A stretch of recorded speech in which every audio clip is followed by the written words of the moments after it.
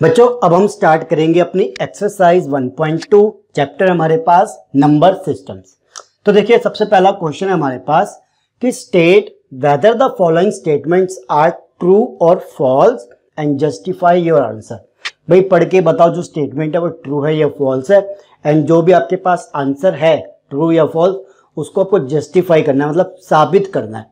ठीक है? चलिए। फ़र्स्ट है स्टेटमेंट की every irrational number is a real number क्या सारे के सारे जो इरेशनल नंबर है, वो हमारे रियल नंबर होते हैं? तो आपको मैं पहले एक डायग्राम बना दूँ? जिसने वीडियो के टॉपिक्स देखे तो बड़ी अच्छी बात है। देखिए, हमने क्या देखा था कि हमारे पास रियल नंबर्स हमने निकाले थे। ठीक है? तो हमने रियल नंबर के अंदर दो चीज़ें देखी थी कि हमने अपने नंबर्स को दो चीज़ों में डिवाइड कर दिया। एक होता है हमारे पास रैशनल नंबर्स ओके एंड दूसरी क्या थी बच्चों हमारे पास? जो दूसरा हमने फाइंड किया था, वो था इरेशनल नंबर्स ये दो चीज़ें निकाली थी, ठीक है? तो अब ये बताओ कि क्या सारे के सारे इरेशनल नंबर हमारे रियल नंबर होते हैं? भाई हमने क्या देखा? कि रियल नंबर के अंदर दो चीज़ें आती है, या तो rational numbers and irrational numbers इन सबको उठाओगे तो वो रियल नंबर बन जाते हैं। ठीक है जी? अब ये क्या सारे के सारे इरेशनल नंबर्स वो क्या कहता है कि सारे के सारे irrational number is a real number क्या वो रियल नंबर होंगे? तो एक चीज़ सोचो, सारे के सारे यस क्यों? क्योंकि ये चीज़ क्या है, जितने भी आप इरेशनल नंबर लिखोगे, वो सारे के सारे क्या होंगे? हमारे रियल नंबर होंगे ही होंगे। ठीक है जी? क्यों नहीं होंगे? चाहे आप जो मर्ज़ी आंसर लिखो, वो सारे के सारे आपके रियल नंबर होंगे ही होंगे। रियल इरेशनल नंबर क्या थे? हमने क्या देखा था?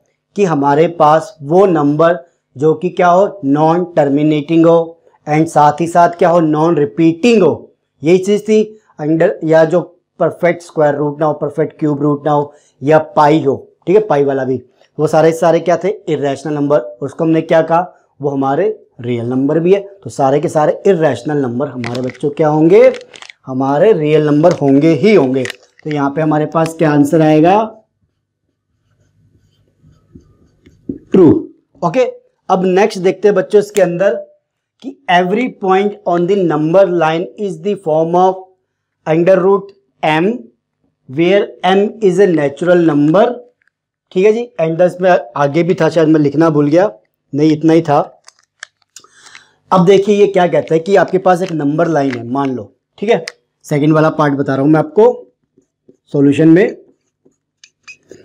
देखो, वो कहता है कि आपके पास एक लाइन है नंबर लाइन है तो वो कहता है कि इसके अंदर जो भी पॉइंट होंगे, सारे के सारे जो भी पॉइंट है, क्या उनको हम अंडर रूट एम की फॉर्म में रिप्रेजेंट कर सकते हैं? और जहाँ पे एम क्या है? नेचुरल नंबर नेचुरल नंबर के अंदर पहली चीज़ क्या आती है? वन से स्टार्ट होते हैं। One two three four five six ऐसे आता है? पहली चीज़ देखो, हमारे पास नंबर लाइन में ज़ीरो आएगा आएगा। अब ये बताओ अंडर रूट ऑफ़ ज़ीरो क्या होता है? ज़ीरो बट नेचुरल नंबर के अंदर तो हमारे पास ज़ीरो नहीं आता तो कैसे कह सकते हो कि ये होगा? नहीं होता। दूसरी चीज़ सोचो, चलो अभी इस चीज़ को छोड़ो। हमारे पास बच्चों क्या आती है? नंबर लाइन यहाँ पे माइनस में भी तो आती है। अगर हम बनाए तो। ठीक है? और यहाँ पे क्या होती है? वन टू थ्री अब ये बताओ वन टू थ्री को तो चलो हम under root one two three इनसे करके निकाल सकते हैं। ये तो आते हैं, ठीक है?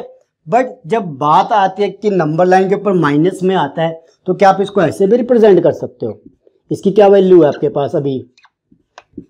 नहीं है ना कुछ? तो हम क्या कहेंगे कि सारे के सारे जो भी हमारे पास होते हैं, वो रूट एम की फॉर्म में नहीं हो सकते, जहाँ पे आप एम कह रहे हो नेचुरल नंबर हो तो ये क्या हो जाएगा बच्चों? फॉल्स ओके चलो आगे, देखिए। लास्ट आपके पास कि every real number every real number is a irrational number क्या सारे के सारे जितने भी रियल नंबर्स है, वो हमारे इरेशनल नंबर होंगे ही होंगे? तो सारे के सारे रियल नंबर हमारे इरेशनल नंबर होंगे। नहीं, हमने तो रियल नंबर को दो पार्ट में डिवाइड किया है। Rational numbers and irrational numbers तो क्या वो इरेशनल नंबर्स ज़रूरी कि रैशनल नंबर ही हो सारे के सारे? It can be rational numbers तो यहाँ पे क्या आएगा? फॉल्स ओके तो आपको इस तरीके से इनके आंसर्स निकालने हैं। कोई भी डाउट हो तो आपको पहले क्या करना है? जितने भी मैंने टॉपिक करवाए, पहले उसको देखो, वहाँ से चीज़ों को समझो, तभी आप इनके आंसर दे पाओगे, ठीक है? उसके अलावा फिर भी आ जाए तो कमेंट बॉक्स है ही आपके लिए। वहाँ पे डाल दीजिए हेल्प करूँगा, ठीक है? एंड द वीडियो अच्छी लगे तो लाइक एंड शेयर करके जाइएगा, ठीक है जी? Thank you